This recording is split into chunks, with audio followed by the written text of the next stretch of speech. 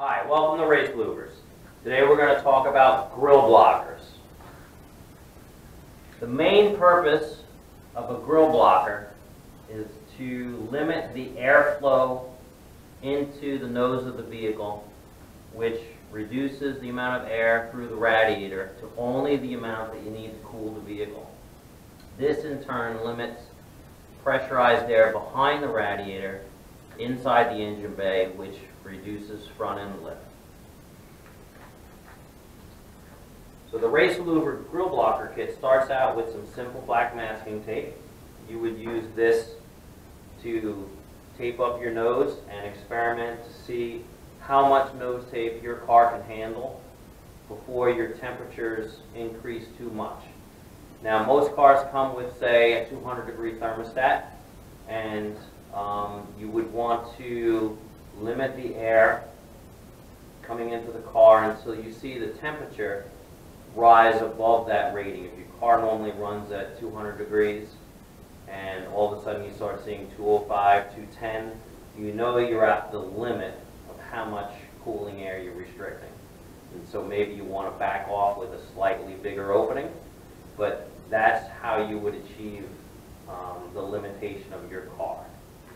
Once you've established how much restriction or how much size you can restrict the uh, nose of your vehicle. You can use the supplied cardboard to cut out some templates for some blockers on your car. You can use the ABS plastic, okay, to cut out the final finished panels. And there's enough in the kit to do four panels for a car with a top and a bottom radiator opening. And those panels can be installed with the supplied zip ties, if you want to say install them behind the grill for aesthetic purposes.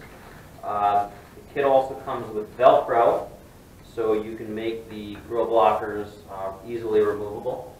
In case you have a car with license plates and you want to go to and from the track, you can easily switch. And of course, these can be trimmed if you happen to um, restrict a little too much.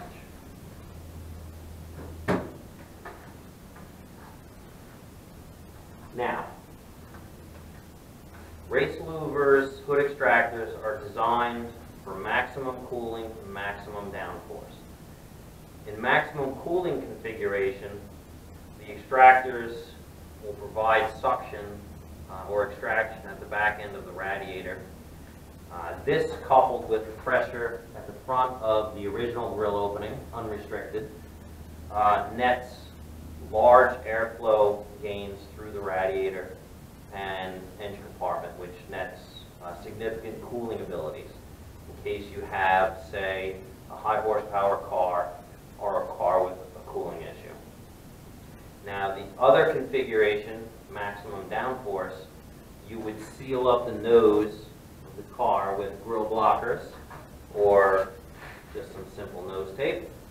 And this in turn would limit the pressure feeding the front of the radiator, but still allow the suction at the back.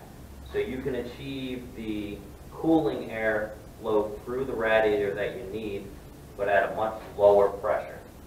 This in turn nets significant reduction in front end lift, which is downforce front downforce. So that's how race louvers, hood extractors, and grill blockers work in uh, conjunction with each other.